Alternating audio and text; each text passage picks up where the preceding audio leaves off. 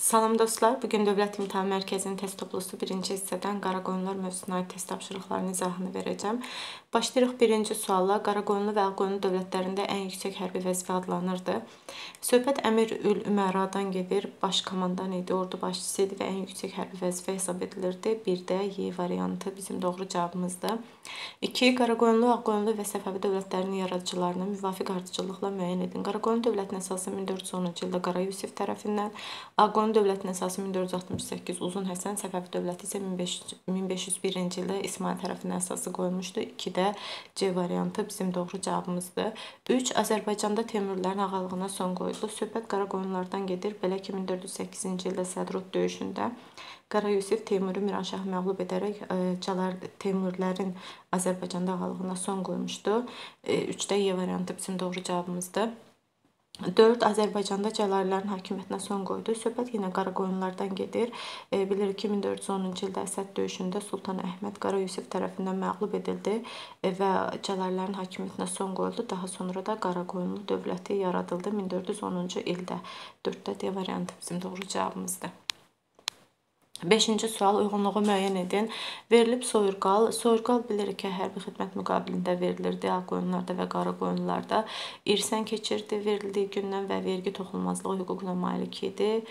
E, burada 1 və 2 ilə ağ qoyunu və qara qoyunu işarələnib. Doğru cavabdır. 5-də D variantı bizim doğru cavabımızdır. 6-cı sual paytaxtların uyğunluğunu müəyyən edin. Təbriz 1 ilə işarələnib ağ qoyunlu, 2 ilə işarələnib Elxanilər. Doğru cavabdır 1 və 2. 6-da A variantı bizim doğru cavabımızdır. 7. Paytaxtların uyğunluğunu müəyyən edin. E, Marağa birlə işarələnib rəvadilər yanlışdır. Ərdəbil və Təbriz olmalı idi. Bərdə şəddadilər yanlışdır. E, bəzən bunu qarışdıra bilirsiniz tələbələr, e, şagirdlər, yəni bunu bir qayda olaraq yadda saxlamaq lazımdır ki, Bərdə Şəddadilər dövlətinin paytaxtı olmayıb. Təbriz 3 ilə işarələnir, Səfəvilər 4 ilə işarələnir, Qaraqoyunlular doğru cavabdır. 3 və 4, 7-də Y variantı bizim doğru cavabımızdır. 8 Eldənizlər və E, Qaraqoyunlular dövlətinin oxşar cəhəti bütün Azərbaycanı vahid dövlətdə birləşdirmək yanlışdır. Paytaxtların Naxçıvan şəhərinin olması Eldənizlər dövlətinə aiddir. Paytaxtlarının Təbriz şəhəri olması bəli, bu oxşar cəhətdə hər ikisi üçün Eldənizlər və e, Qaraqoyunlular dövləti üçün 8-də C variantı bizim doğru cavabımızdır. 9. Qazan xanlığı və Ağqoyun dövlətlərinə aid olan oxşar cəhət. Toxtamış xanın hücumu yanlışdır. 16-cı əsrin əvvəllərində yaranması yanlışdır. Çünki Ağqoyun dövləti 1468-ci il 15-ci əsrdə, Qazan xanlığı da Qızıl Orda dövlətinin parçalanması prosesində elə 15-ci əsrdə yaranmışdı. Bəzən bunu şagirdlər qarışdıra bilirlər ki, e, Qızıl Orda dövlətinin süqutundan sonra testdə qarşınıza çıxa bilər ki, xanlıqlar yaranmışdı. Yanlış ifadədir. E, Qazan xanlığı Qızıl Orda dövlətinin parçalanması prosesində, yəni 15-ci əsrdə yaranıb, 16-cı əsrin əvvəllərində yox. 9-da e, C variantı bizim doğru cavabımızdır. Hər ikisi üçün oxşar cəhətdir. 10. 15-ci e, əsrdə Qaraqoyunlu və Ağqoyunlu dövlətlərində Ali Divanın rəhbəri baş vəzir idi. E, doğru cavab A variantıdır. Digərləri niyə olmaz? Şah dövlətin başçısı idi. Sədrəzəm dini idarələrə başçılıq edirdi. Əmir Ölümara bir neçə test qabaq izah etdim ki, hər iki dövlətdə ən iki ən yüksək həm Ağqoyunlarda, həm Qaraqoyunlarda ən yüksək hərbi vəzifə idi, qoşun başçısı idi. Vəkil isə Səfəvilərə aid bir ifadədir. Onda A variantı bizim doğru cavabımızdır. 11 daha əvvəl baş vermiş döyüş. Alaşkert 1421, Muş 1467, Malatya 1473 1 avqust, Otluqbeli 1473 11 avqust, Cavanı 1500. 11-də A variantı doğru cavabdır. Alaşkert 1421. Daha əvvəl baş vermiş döyüş e, Malatya 1473, Qoyluhisar 1461, Sərdrut 1408, Alaşkert 1421, Otluqbeli 1473 11 avqust.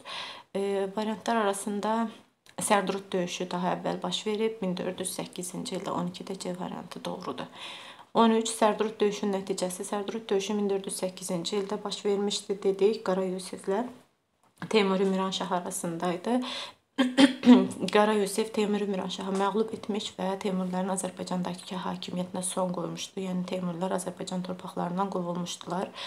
13-də Y variantı bizim doğru cavabımızdır. 14 Muş döyüşünün nəticəsi Muş döyüşü Ağqoyunlar və Qaraqoyunlar arasında baş verib. Qaraqoyunlu e, burada məğlub olmuşdu. Ağqoyunlar qalib gəlmişdilər. Baxaq variantlara. Ağqoyunlu dövlətinin hökmdarı Uzun Həsən yanlışdır. 1467-ci ildə Uzun Həsən hələ hökmdar, dövlətin hökmdarı deyildi. Qaraqoyunlular Ağqoyunlulara qalib gəldi. Yanlışdır. Ağqoyunlular qalib gəlmişdi. Teymurilər Ağqoyunlulara qalib gələrək Təbrizi tutdu. Teymurilərlə Ağqoyunlular arasında olmayıb bu döyüş. Dedi ki, Ağqoyunlu və Qaraqoyunlu idi tərəflər. Teymuri Şirvanşahlar da yanlışdır. Ağqoyunlular Qaraqoyunluları məğlub etdi və Qaraqoyunlu dövlətinin süqutu sürətləndi. 14-də Y variantı bizim doğru cavabımızdır. 15 Əsəd döyüşünün nəticəsi. Əsəd döyüşü 1410-cu ildə Qara Yusiflə Sultan Əhməd arasında baş vermişdi. Qara Yusif Sultan Əhmədi məğlub etmiş və Cəlalilərin Azərbaycandakı hakimiyyətinə son qoymuşdu. Daha sonra da Qaraqoyunlu dövlətini yaratmışdı. Baxaq variantlara. Teymuri qoşunu Azərbaycanı tərk etdi. Yanlışdır. Biz dedik ki, Teymurilər 1408-ci ildə tərk etmişdilər. O döyüşdə tərk etmişdilər. Cəlalilərin Azərbaycandakı hakimiyyətinə son qoyuldu. Doğru cavab da 15-də B variantı.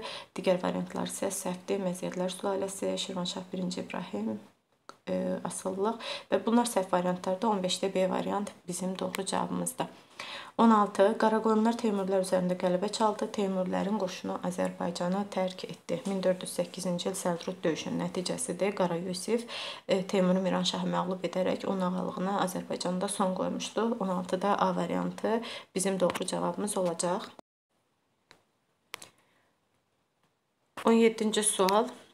Alaşkert və Muş döyüşlərinin oxşar nəticəsi. Alaşkert döyüşü 1421-ci ildə Teymurilər və Qaraqoyunlular arasında, Muş döyüşü 1467-də Ağqoyunlular və Qaraqoyunlular arasında baş vermişdi. Hər iki döyüşdə Qaraqoyunlular məğlub olmuşdu. Baxaq variantlara. Ağqoyunlular məğlub oldu yanlış ifadədir.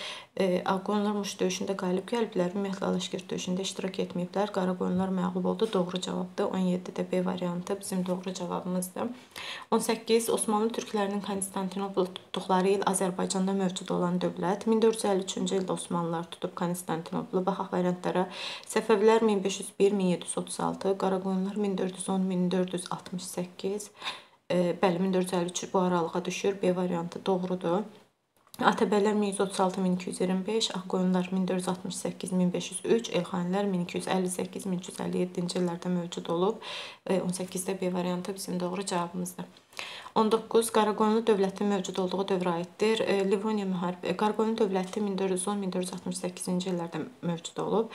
Livoniya müharibəsi 1558-83, e, Trabzon imperiyasının süqutu 1461, bəli bu doğru cavabdır. Dedi ki, Qaraqoyunlu dövləti 1468-də süqut edib və Trabzon imperiyası da ondan əvvəl 1461-ci ildə süqut etdiyinə görə onun mövcud olduğu dövrə düşür. B variantı 19-da doğrudur. Mərv döyüşü 1510, Sərdrut döyüşü 1408, hələ heç onda dövlət yaranmamışdı. Əpər 132-də 1519-da B variantı bizim doğru cavabımızdır. 20. Qaraqonun dövlətinin yarandığı il baş verdi. Qaraqonun dövləti 1410-cu ildə yaranıb. Baxaq variantlara. Kulikova döyüşü 1380, Kalkaçay sahilində vuruşma 1223, Livoniya müharibəsi 1558-83, Cəlalilər süqutu 1410-cu ilə aiddir. Bəli, doğrudur. 20-də D variantı, Mərv döyüşü 1510 yanlışdır. 20-də D variantı bizim doğru cavabımızdır. 21. Azərbaycanın 9-11-ci əsrlər və 14-15-ci əsrlər tarixinə aid ümumi cəhət. Baxaq variantlara siyasi dağınıqlığın olması. Bəli, elə A variantı doğrudur. Çünki o dövrdə feodal pərakəndəlik hər iki dövr üçün uyğundur.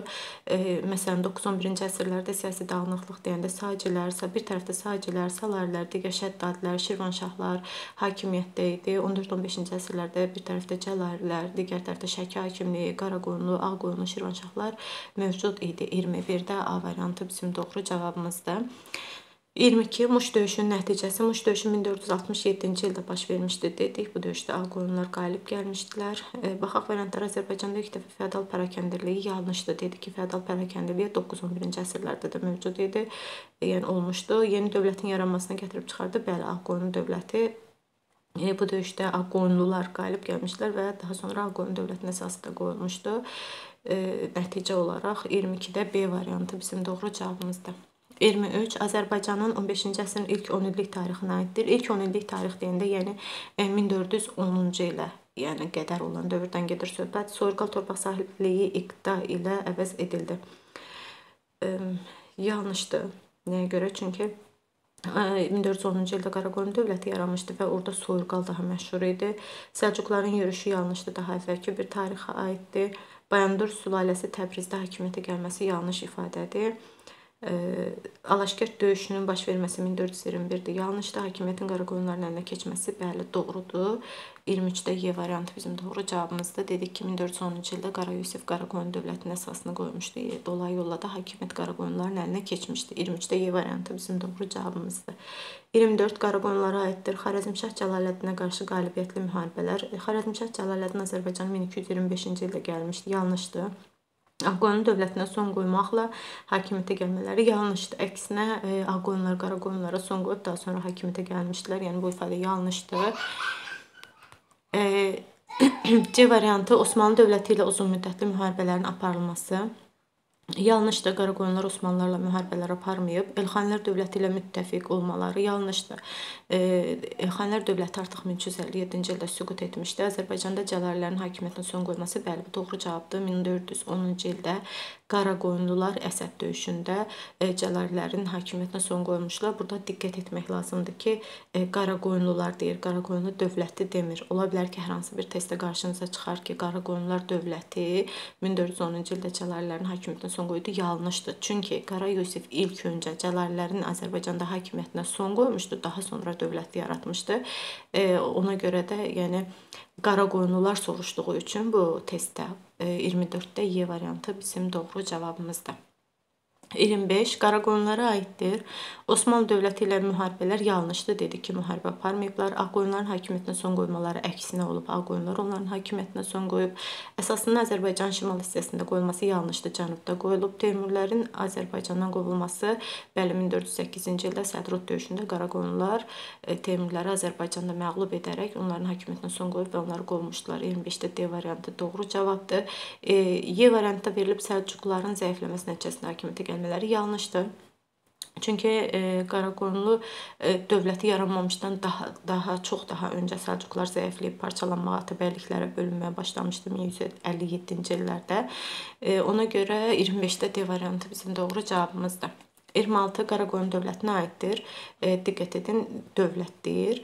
Hülakilər dövlətinin tərkibində olması yanlış. E, çünki 1357-ci ildə artıq Hülakülər dövləti süqut etmişdi. Qaraqoyun dövləti 1410-cu ildə yaranıb.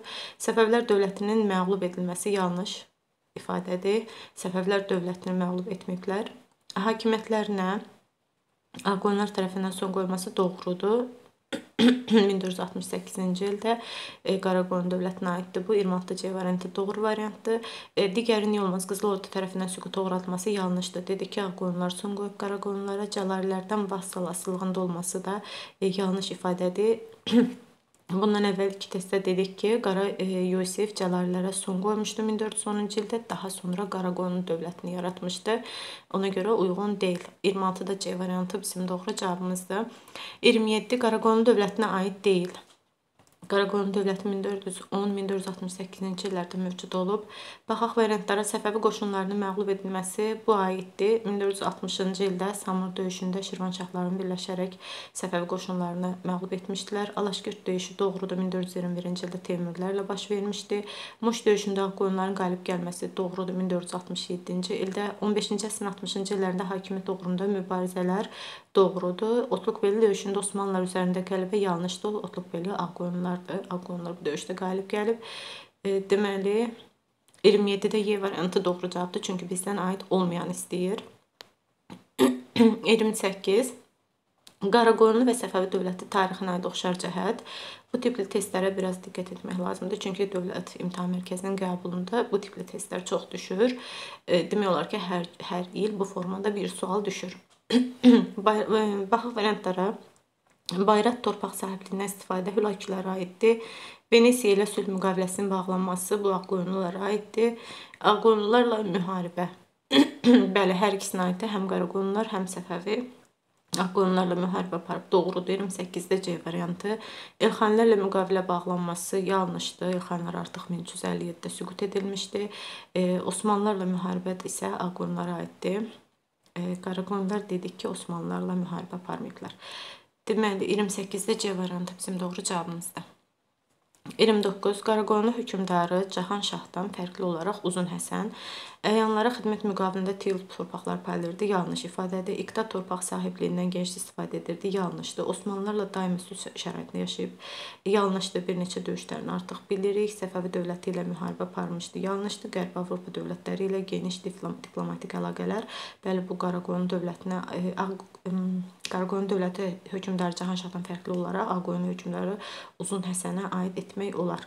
29-da Y variantı bizim doğru cavabımızdır.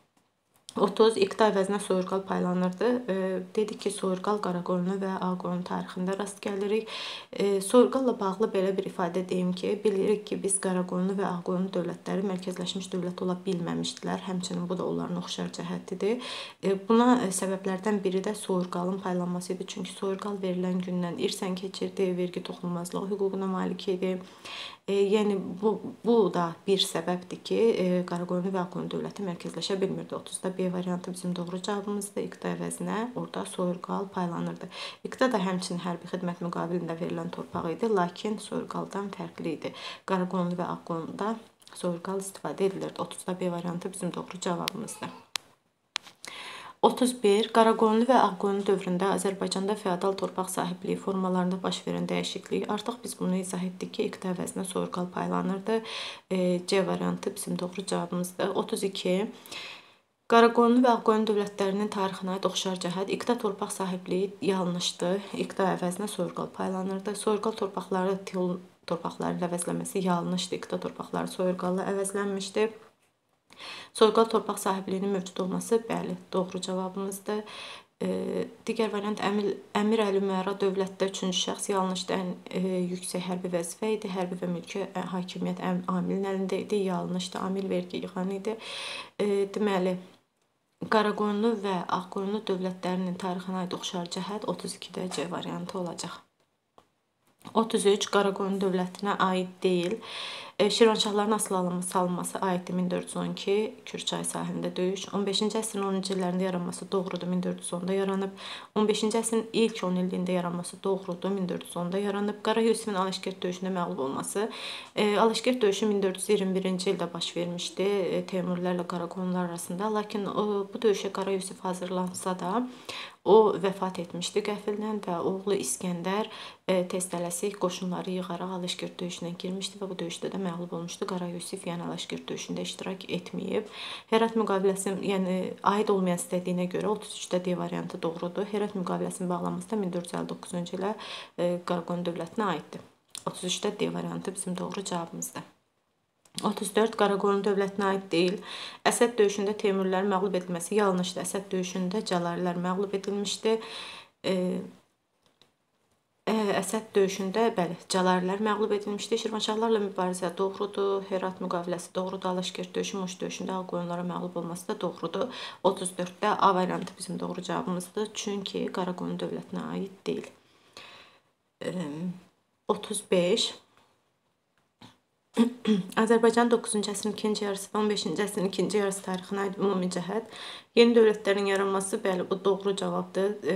898-ci ildə Sacilər dövləti yaranmışdı. 1468-ci ildə isə Ağqoyunlar yaranmışdı. Yəni hər ikisi dövrə, yəni 9-cu əsrdə Sacilər, 15-ci əsrin ikinci yarısında Ağqoyunlar yaranmışdı. 35-də A variantı bizim doğru cavabımızdır. 36 Azərbaycan 10-cu əsrin 1-ci yarısı, 15-ci əsrin 1-ci yarısı tarixinə aid ümumi cəhət. Yeni dövlətin yaranması bəli doğrudur. 941-də Salarilər, 1410-da Qaraqoyunlular, 36-da variantı bizim doğru cavabımızdır. 37 Qaraqoyunlu və Ağqoyun dövlətlərinə aid ümumi cəhət. Qapalı qanunverici orqanın kəngəş adlandırılması yanlışdır. Kəngəş məşvərətçi orqan idi, qanun verə bilmirdi. Səfəvi dövləti ilə mübarizə aparması bu aiddir Ağqoyunlulara. Vəqf mülkləri və ruhanilərdən vergilərin toplanmasına əmir ül Əl-Üməranın başçılıq etməsi yanlışdır. Əmir Əl-Ümara qoşun başçısı idi və baş vəzirin xarici işləri nəzarət etməsi bəli, bu bizim doğru cavabımızdır. 37-də D doğrudur. Qərb ölkələri ilə Osmanlılara qarşı ittifaqa girmələri isə yalnızca e, Ağqoyunlara aiddir. 37-də D variantı bizim doğru cavabımızdır. 38-ə baxaq. Qaraqoyunlu İskəndər və Qara Yusifin fəaliyyətinin ümumi cəhəti Teymuri Şahruxa dəfələrlə qalib gəlmişdi. Yanlışdır, ümumiyyətlə onlar Teymur Şahruxa qalib gələ bilməyiblər. Şirvanşahları asılı hala salmışlar. Bu Yusifə aiddir. Cəlalli Sultan Əhmədlə müttəfiq olmuşdu. Bu da Qara Yusifə aiddir. Teymurlərdən asılılığı qəbul etmişdi. Heç biri Teymurlərlə döyüşmüşdü. Bəli, hər ikisi Teymurlərlə döyüşmüşdü. Həm Qara İskəndər, həm də Qara Yusif 38-də Y variantı bizim doğru cavabımızdır. 39 yüzillik müharibə dövründə Azərbaycanda yüzillik müharibə 1337-1453-cü illərdə baş verib. Baxaq variantlara. Saycılar dövləti yarandı 898, Ağqoyun dövləti süqut etdi 1503, Hülakilər dövləti yarandı 1258, Teymurilərin hakimiyyətinə son qoyuldu 1408, Eldənizlər dövləti mövcud idi 1136-1225. Bu dövrə düşür Teymurlərin hakimiyyətinə son qoyulması 1408-ci il 39-da D variantı bizim doğru cavabımızdır. 40 Qaraqoyunlu Baharlı dövlətinin mövcudluğu dövrünə aiddir.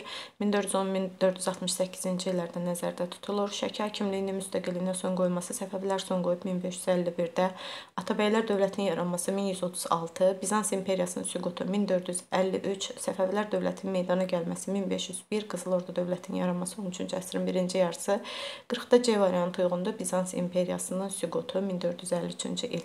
40-da C variantı doğrudur. 41 uyğunluq pozulub. Alaşkert döyüşündə Teymurlər qalib gəldi, Qaraqoyunlu qüvvələrinə doğrudur 1421-də. Sərdurud döyüşündə Qaraqoyunlular qalib gəldi, Teymuri qüvvələrinə doğrudur 1408-də. Muş döyüşündə Cahanşah məğlub oldu Ağqoyunlu qoşunlarına. Doğrudur 1467-də. Əsəd döyüşündə Cəlalilərə qalib gəldi Qaraqoyunlu dövlətinin qüvvələri e, yanlışdır. Nəyə görə? Çünki burada Əsəd döyüşündə Cəlaliləri qalib gəldi, Qaraqoyunlu qüvvələri desəydi doğru olardı. Amma Qara Yusif Əsəd döyüşündə Cəlaliləri məğlub edib onlara son qoyandan sonra Qaraqoyunlu dövlətini yaradıb. Burada dövlət sözü olduğuna görə burada uyğunluq pozulub. 41-də D variantı doğru cavabdır. Malatya döyüşündə Osmanlılar qalib gəldi, Ağqoyunlular doğrudur. Deməli 41-də D variantı bizdə doğrudur, çünki bizdən pozulan uyğunluq istəyir. 42 Uyğunluq pozulmuşdur. Muş döyüşündə Uzun Həsən qalib gəldi Qaraqoyun qoşunlarına. Doğrudur. 1467. Alaşkert döyüşündə Qara Yusif məğlub oldu Şirvanşahlarla Teymurlərin birləşmiş qüvvələrinə. Alaşkert döyüşü 1421-ci ildə baş verib, lakin o dövrdə artıq Qara Yusif vəfat etmişdi. Qara İskəndərlə baş vermişdi bu döyüş. Ona görə burada uyğunluq pozulub. 42-də B variantı bizim doğru cavabımızdır. Çünki bizdən pozulan uyğunluq istənilir. Digər variantlarda isə uyğunluq gözlənilir. 43 uyğunluq gözlənilmişdir. Alışgert döyüşündə Qara Yusif məğlub oldu Teymur qüvvələrinə yanlış. Çünki Qara İskəndər idi o döyüşdə. Sərdurud döyüşündə Qara Yusif məğlub oldu Teymur qoşunlarına. Sərdurud döyüşündə ümumiyyətlə Yusif qalibdir. E, Bağdad döyüşündə Teymurlər qalib gəldi. Qaraqoyunlu və Cəlali qüvvələrinə 1394-cü ildə baş vermişdi. Bu doğru cavabdır. Burada uyğunluq gözlənilib. E, digəri Kürçay sahilində Şirvanşah 1-ci İbrahim məğlub oldu Ağqoyunlu qüvvələrinə yanlışdı. Muş döyüşündə Qaraqoyunlular məğlub oldu Teymurilərə yanlışdı. Muş döyüşü Qaraqoyunlu və Ağqoyunlu arasında baş verib və bu döyüşdə Ağqoyunlular qalib gəlib. 43-də e, C variantı bizim doğru cavabımız olacaq. 44-cü suala baxırıq. Qeyd edilmə, bəli. E, Saycı hökmdarı Yusif ibn Əbu Sac və Qaraqoyunlu hökmdarı Qara Yusifin fəaliyyətlərinə aid ümumi cəhət. E, baxaq variantlara. İdarə etdikləri dövlətlərin hülakülərinin süqutu nəticəsində yaranması yanlış ifadədir. E, yəni Saycılar dövləti yarananda 898-ci ildə o dövrdə heç hülakülər hələ yaranmamışdı. Qaraqoyunlular dövlətdə 1400 Qaraqoyunlular dövlətdə bəli 1410-cu ildə yaranır. Hülakilər isə 1357-ci ildə artıq süqut etmişdilər. Yanlışdır. Şirvanşahlar dövlətinin asılı hala salınması. Deməli Yusif ibn Əbu Sacın dövründə sacilər bütün Azərbaycanı vahid dövlətdə birləşdirmişdilər. Dolayı yolla Şirvanşahlar da onlardan asılı hala düşmüşdü. Qaraqoyunlularda da Qara Yusif Şirvanşahları özündən asılı salmışdı. 44-də B variantı bizim doğru cavabımızdır. Digər variantlar yeni sülalənin əsasını qoyması yanlışdır. Xilafətə qarşı müharibələr Yusif ibn Əbu Sac yeni dövlət, yəni ona aiddir. Yeni dövlətin əsasının qoyulması da Qara Yusif 1410-cu ildə Qaraqoyunlu dövlətin əsasını qoysa da Sacilər dövlətinin əsasını Məhəmməd ibn Əbu Sac qoyub. Yusif ibn Əbu Sac yox. Deməli 44-də B variantı bizim doğru cavabımızdır. 45 Şirvanşahlar dövlətinin 15-ci əsrin 60-cı illəri üçün xarakteri qeydi. Baxaq variantlara Qaraqoyunlu Cahanşahla hərbi ittifaqa girməsi doğrudur. 1460-cı ildə Samur çayı döyüşündə Şeyx Cüneydə qarşı ittifaqa girmişlər. O dövrdə hakimiyyəti 1-ci Xəlilullah idi. 1417-1462-ci illərdə hakimiyyətdə olub. Doğru cavabdır. B-də verilib Səfəvi dövlətinin hərbi qüvvələri Səfəvi dövləti deyildi. Onda Səfəvilər dövləti 1501-də yaranıb.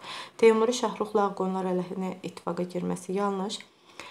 E, Səfəvi dövlətindən asıllıq dedik ki, Səfəvilər dövləti 1501-də yaranıb. Alaşkert döyüşündə Teymurlərlə birlikdə Qara Yusifə qarşı vuruşma e, Bu tamamilə yanlışdır. Alaşkert döyüşü 1421-ci ildə baş verib.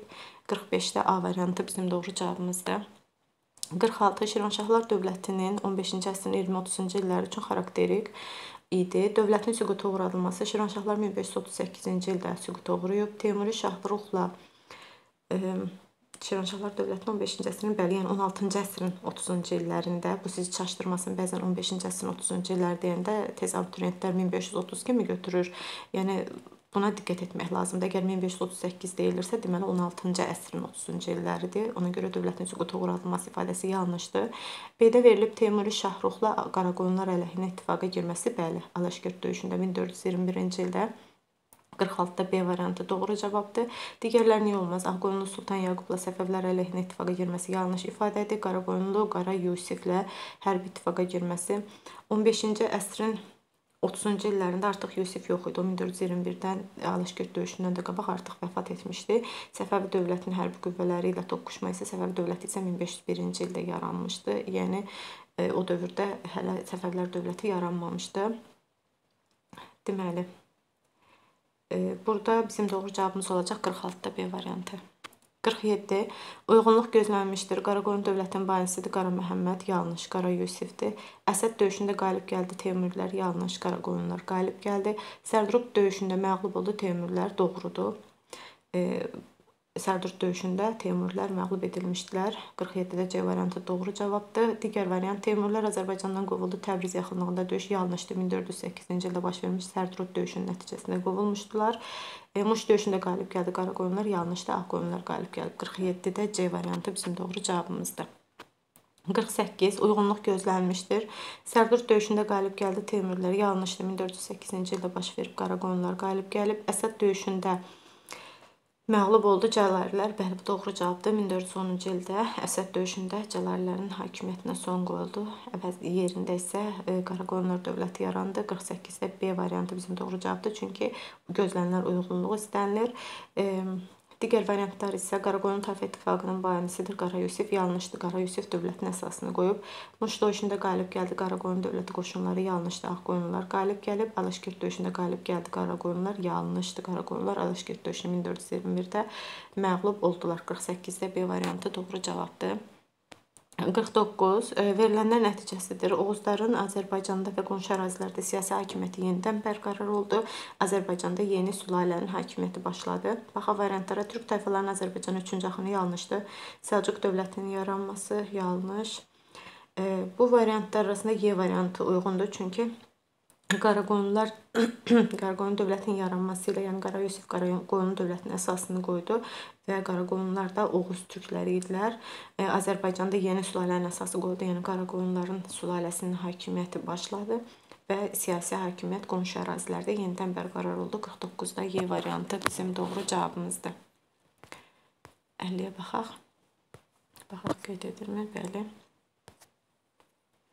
50-ci sual verilənlər nəticəsidir. Teymurlərin Azərbaycanda, Azərbaycan torpaqlarındakı hakimiyyətinə son qoyuldu. Hakimiyyət Qaraqoyunların əlinə keçdi.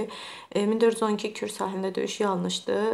Bağdad döyüşü yanlışdı. Teymuri Əbubəkirin Naxçıvan yaxınlığında məğlub edilməsi yanlış. Sərdurud döyüşü bəli. Bu verilənlər Sərdurud döyüşünün nəticəsidir 1408-ci ildə. Hakimiyyət Qaraqoyunların əlinə keçmişdi və Teymurilər Azərbaycandan qovulmuşdular. E, bu doğru cavabdır. Qara Yusifin Sultan Əhməd üzərində qələbəsi 1410-cu ilə aiddir.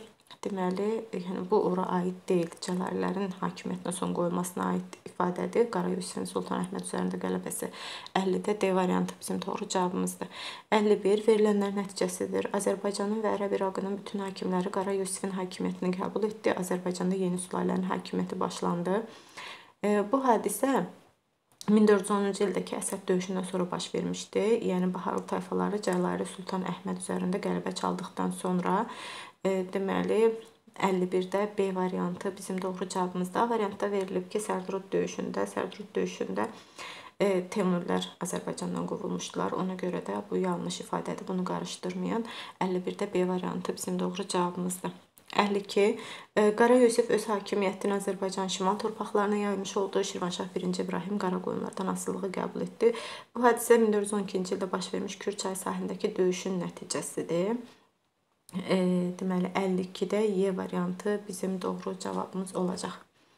53. E, Qaraqoyunlara aid olan döyüşlər bir də verilib Qoyluhisar Ağqoyunlulara aiddir. 2. Sərdrud bəli 1408-də baş verib Teymurlərlə. Bu doğrudur, Qaraqoyunlara aiddir. 3-də verilib Otluq belə Ağqoyunlulara aiddir. Muş 1467 Qaraqoyunlarla Ağqoyunlar arasında baş verib. Deməli, Qaraqoyunlara aid olan döyüşlər oldu Sərdrud və Muş 2 və 4 bizim doğru cavabımızdır. 53-də.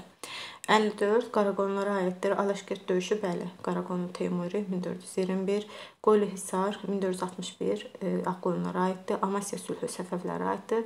E, Səfəvlərlə Osmanlılar arasında 1555-ci ildə imzalanıb. Muş döyüşü 1467 Qaraqoyunlara aiddir. Deməli 54-də 1 və 4 bizim doğru cavabımız olacaq.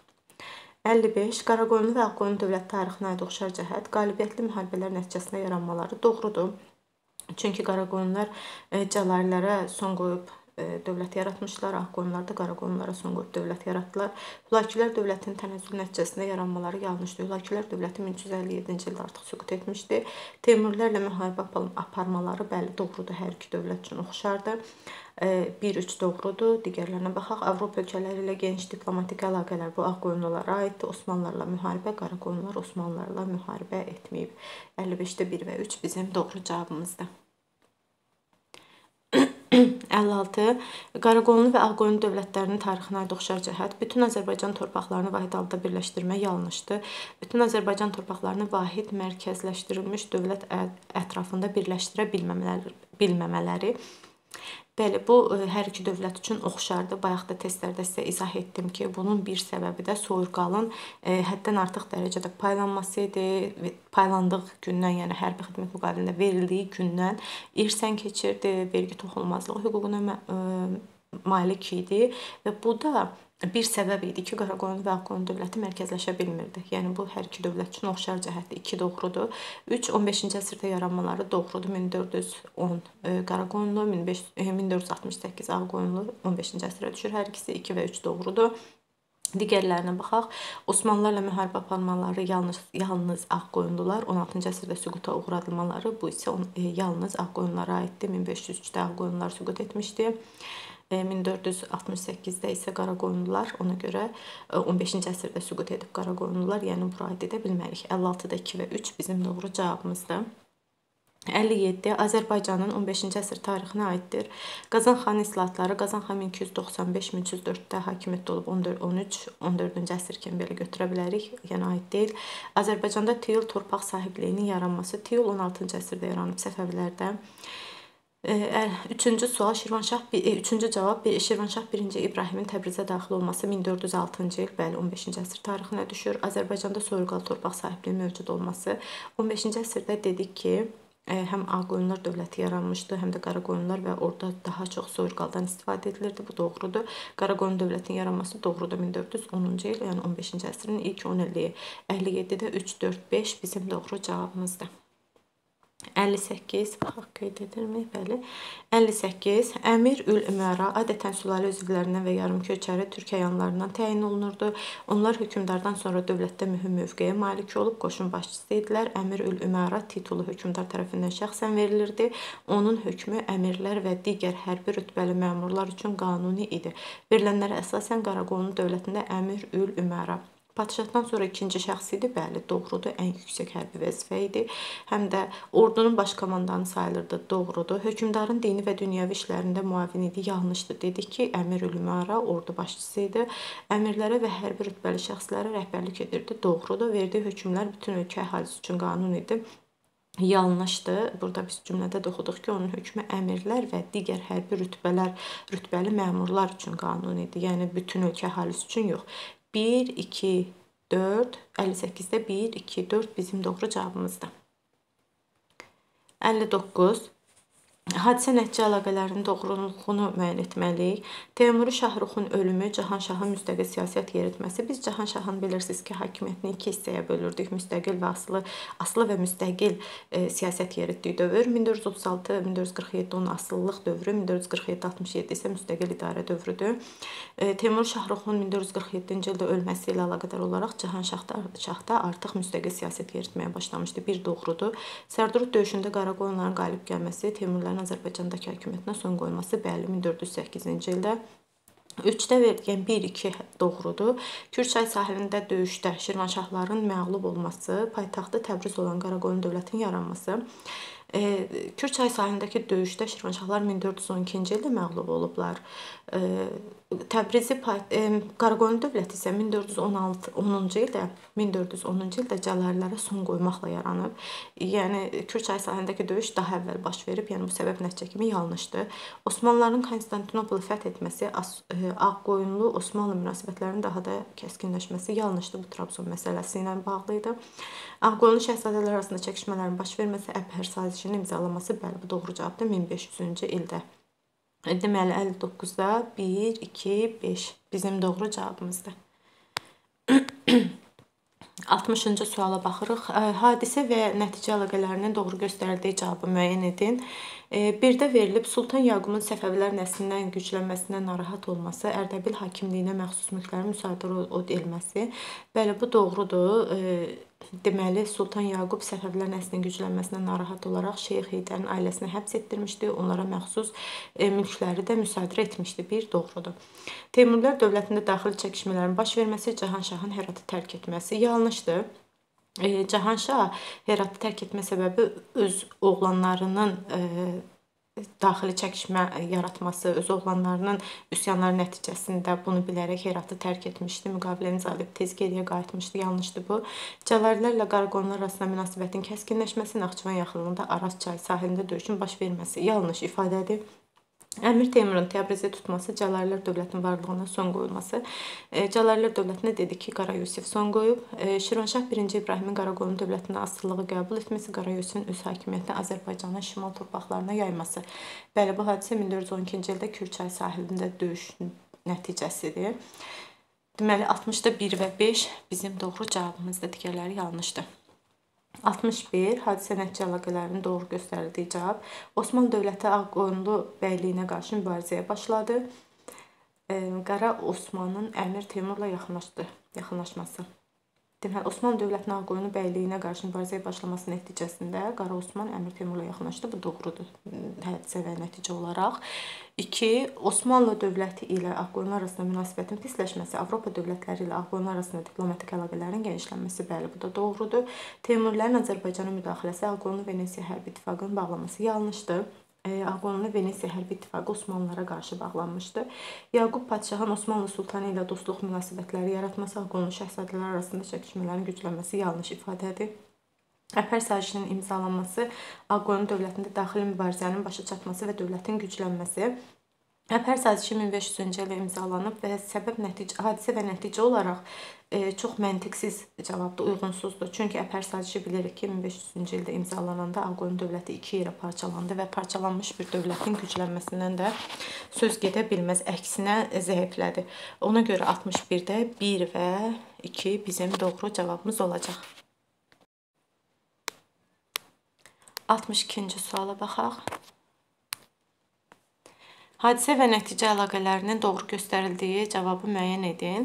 E, Toxtamışın e, Buxara və Səmərqənd şəhərlərinə hücumu Əmir Teymur 1387-ci ildə Azərbaycanı tərk etdi. Doğrudur. Şeyx Heydərin Osmanlı Sultanı II Bəyazitlə dostluq münasibətləri yaratması, Sultan Yaqubun Səfəvilərlə münasibəti pozuldu. Yanlışdır. Teymurilərə qarşı tək başına mübarizə aparmağın çətin olması, Qara Yusif Cəlaliri Sultanla Əhməd Cəlaliri Sultanı Əhməd Sultan Əhmədlə ittifaq bağladı. Doğrudur. Ağqoyunluların Otluqbel döyüşündə məğlub olması Ağqoyun tacirlərinin e, Qara dənizə birbaşa çıxışını itirdi. E, bu yanlışdır. Çünki Ağqoyunlar Otluqbeli döyüşü 1473-cü ildə olub. E, Ağqoyunlu tacirlərin Qara dənizə çıxışı isə Trabzon məsələsində itirilmişdi. Yəni yanlışdır hadisə nəticə olaraq. 1 və 3 62-də bizim doğru cavabımızdır. 63. Bayandurları e, nümayəndəsi olan Qara Osman bəy siyasi nüfuzunu gücləndirərək Ağqonlu bəyliyini yaratdı. Bu zaman Baharlı sülaləsindən olan Qara Yusif də gücləndi. O Teymurlara qarşı tək başına mübarizə aparmağı mümkün olmadığını görüb Qara Osman bəyə müttəfiqlik təklif etdi. Bununla da Qara Osman bəy baxaq, e, Qara Yusiflə Qara Yusiflə Teymurlara qarşı ittifaq bağladı, yanlışdır təklifi qəbul etməmişdi. Çünki 2-də verilib təklifi qəbul etmir və Əmir Teymurla yaxınlaşır, doğrudur. Əsas rəqib olan Baharlara qarşı Osmanlı Sultanı İldırım Bəyazitlə dostluq münasibəti saxlayır, yanlış. Əmir Teymurun Osmanlılar üzərində qələbəsindən istifadə edərək Ağqoyunlu bəyliyinin ərazisini genişləndirir, bəli bu doğrudur. Teymurilərlə, Teymurlar Teymurla ittifaqdan istifadə edərək bütün Azərbaycanı qısa müddətdə olsa birləşdirir, yanlış ifadədir. Deməli 63-də 2 və 4 bizim doğru cavabımızdır. 64 Dövlətlərin yaranmasının xronoloji ardıcıllığını müəyyən edin. Baxaq variantlara. Girdiman 630, Manna eradan əvvəl 9-cu əsr, Şəddadilər 971, Qaraqoyunlu 1410.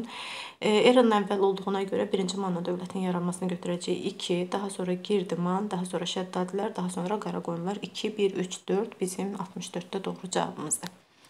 65. Dövlətlərin yaranmasının xronoloji ardıcıllığı Rəvadilər 981, Eldənizlər 1136, Elxanilər 1258. Bu Eldənizlərlə Elxaniləri qarışdırmayın. Çox vaxt e, tələbələr qarışdırırlar. Diqqətli olun. Eldənizlər Atabəylər dövlətidir, Elxanilər isə Hülakilər dövlətidir.